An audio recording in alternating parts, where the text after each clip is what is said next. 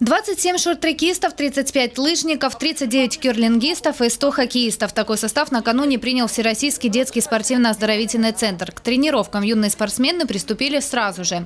Два раза в день по два часа лыжники устраивают гонки по территории Олимпийского парка. Если для сочинской команды эта трасса более-менее знакома, то вот гости из Чувашии не только занимаются спортом, но и получают массу впечатлений. Домашние задания здесь не задают. Это для нас огромный плюс, потому что у нас здесь будет столько много мероприятий. Вчера мы уже сходили на хоккей, там побывали, там было очень весело, такая атмосфера была.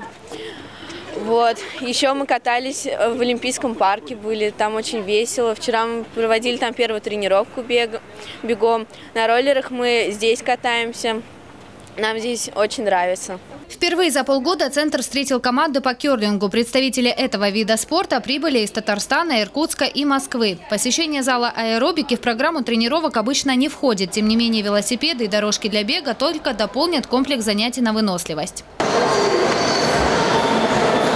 Пока кирлингисты крутят педали, команды по хоккею орудуют клюшками. На поле встретились юниорский состав «Спартака» из Йошкар-Олы и девушек из Екатеринбурга.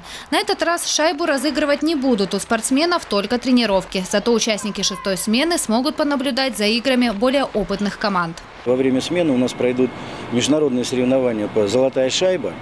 И самый-самый интересный турнир, это с 21 по 28 число, пройдет турнир Первый Кубок Евразии по хоккею среди ребят 2003 года «Хоккейная сказка». Приедут самые лучшие команды из России, сборная Казахстана, Киргизии, Белоруссии, приедут даже ребята из Латвии. 200 спортсменов, входящие в состав шестой смены, пробудут на курорте до 24 декабря. Следующую партию юных чемпионов Всероссийский детский спортивно-оздоровительный центр будет встречать в январе. В связи с праздниками дата заезда сместится на несколько дней. Татьяна Нагорская, Николай Тихонов, телекомпания «ФКТ».